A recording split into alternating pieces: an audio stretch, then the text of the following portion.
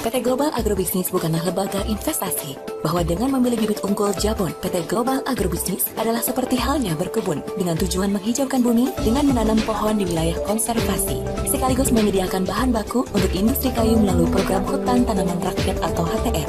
Dan PT Global Agrobisnis adalah sebagai penyedia bibit unggulnya dengan berbagai macam fasilitas di dalamnya, seperti pencarian lahan yang sesuai, pengurusan legalitas, perawatan, penyedia tenaga ahli, dan jasa pelaporan perkembangan pertumbuhan pohon. Jadi, PT Global Agrobisnis bukanlah lembaga investasi, tetapi merupakan supplier bibit jabon yang memberikan fasilitas seperti yang tertera di sertifikat, sehingga tidak mengelola uang.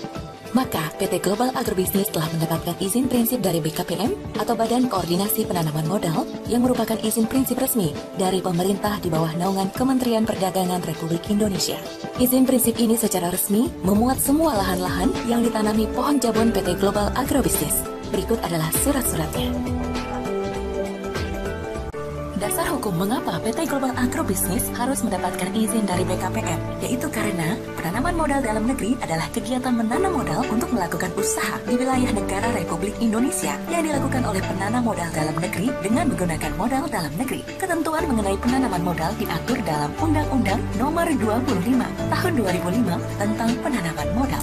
Kewenangan perizinan oleh BKPM apabila dilihat dari konteks Undang-Undang Nomor 22 Tahun 1999 dan Undang-Undang Nomor 32 Tahun 2004 yang menjadi kewenangan daerah. Pasal 13 dan Pasal 14 Undang-Undang Nomor 32 mengisyaratkan bahwa pelayanan administrasi penanaman modal merupakan urusan wajib provinsi bagi yang berskala provinsi dan merupakan urusan wajib kabupaten atau kota bagi yang berskala kabupaten atau kota. Dengan adanya keputusan Presiden tersebut, BKPM menjadi ujung tombak bagi perizinan investasi di Indonesia, sehingga dirasakan terdapat resentralisasi perizinan investasi dari daerah kepada BKPM, sehingga PT Global Agrobisnis secara periodik diwajibkan untuk melaporkan kegiatannya kepada BKPM. Oleh karena itu, kegiatan penanaman modal pohon jabon Aegis yang dilakukan oleh PT Global Agrobisnis ini diberikan izin sekaligus diawasi oleh BKPM.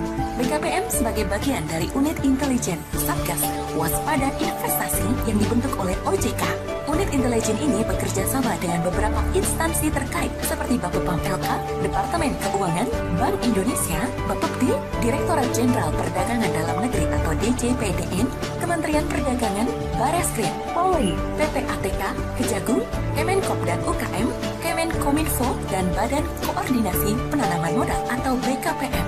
Mari kita cek bukti BKPM adalah bagian dari Satgas Waspada Investasi sebagai berikut. Silakan Anda klik website OJK, ojk.go.id.